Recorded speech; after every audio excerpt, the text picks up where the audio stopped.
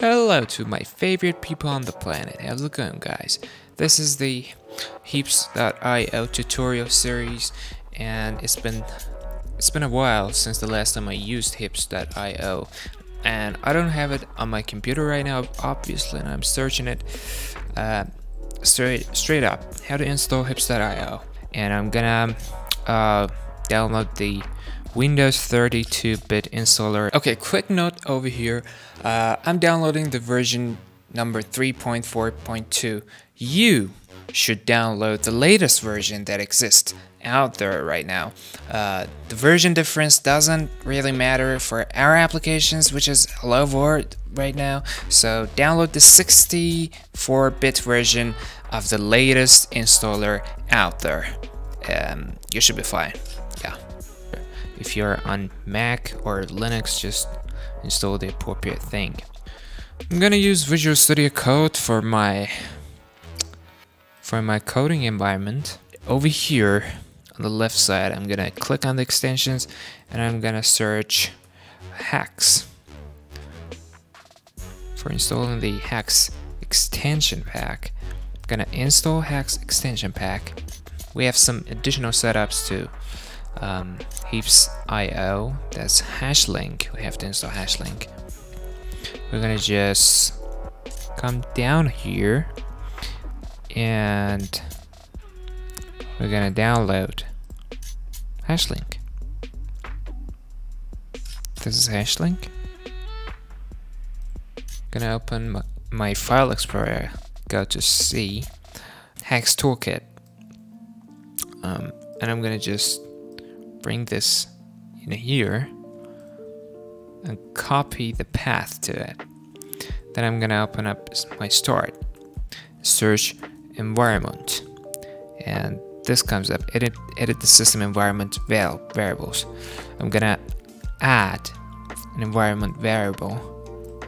I'm gonna add to the already existing environment environment variable called path here. I open up path, I click on new, I paste the location to that hash hash link thing. Click OK, I click OK over here, and I type HL. Ah, I have to close the CMD and and open it up again. Now when we type HL, we don't get that no command found thing. So what you need when you create a Haxe project, when you create, yeah, Haxe project, you need a compile file. So we'll click new file, we'll call it compile.hxml.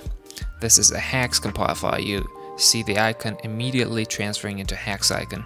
After creating this compile.hxml file, we need to type some specific things to uh, make the compiler work. First thing is to specify the library that we use. It's the heaps library since we are making a heaps.io game.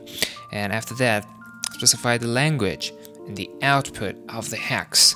We're gonna we want to turn the haxe application to a JavaScript application. So called hello.js. This is this is the output output file as specification. After that, we want to specify the main main haxe file that compiles into hello.js. So the haxe library, the heaps library, goes um, into this main file, which we'll call it main, just main. Uh, finds the main file and compiles it using the lib library of heaps into hello.js javascript.js. And we want to specify that we are in debug mode, so it's nothing too serious, we're just messing around. And after that, I'm gonna just create a new file. Um, and it's main dot, dot hx, which is a haxe file. So this main is this main. Okay, the main class of our application has to extend the hxd.app class. because it's an app that we're developing. So yeah, there's that. And after that, we want to overwrite the initialization function and we want to add a static function called main. In the main function, this is static, okay? In the main function, we make a new main class, which is this here. And in the main class, on initialization, it calls this function that we're overriding here. In, in this function, we create a, a text, a 2D text, by doing this.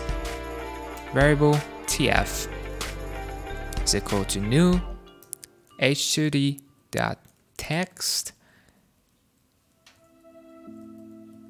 And this function um, receives two inputs.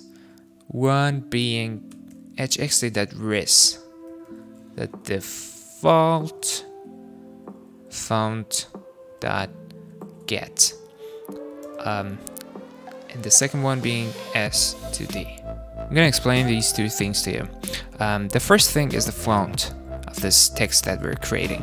And the second thing is the scene that this text is gonna be shown in. So we get the default the default font from the Haxe library and we say this is the default 2D scene. So the default font font into default 2D scene. And after that we're gonna say tf.text is equal to equals to hello world. Just like that. And we're gonna save everything up. Okay. First of all, since we're using the Visual Studio Code, we have to make a new um, build task. Okay, to, to compile our application, we go to Terminal, Configure Default Build Task, and click on Active Configuration Haxe file. It automatically automatically creates this tasks.json file and yeah that's how, how Visual Studio knows what to do to build our application um, but bef before compiling we we have to actually install um, so heaps so this is how you install it we open up a terminal you can open a terminal in Visual Studio Code and we type hex haxelib install heaps. And we just wait for it to install. Okay. Now, now that it's done, I'm gonna restart my Visual Studio Code, and I'm gonna just run, uh, run the build test that we made earlier. Okay, it worked. Now we have two new files over here. Um, hello.js, hello.js.map, and uh, we, we can't just open up this uh, mess without without adding adding any new files so we have to add a new file index.html to view our new app in in our browser so what we do here in our HTML file we copy this thing over here I'll leave it in the descriptions down below so you can copy it very easily. Um, that's pretty much everything you have to do right here. Um, after that, you just get the place the project is located in, reveal File, File Explorer, and you can just open up this application. Yeah, so this is the text. Yay! We did it with we printed hello world. So yeah, with our our heaps, the IO application and our haxe and everything is now installed. Everything's working fine, and yeah, in in the next episode we're gonna go ahead and review my ECS um, entity component system that I wrote which is the base of any game engine that is out there nowadays, and see how we can use that.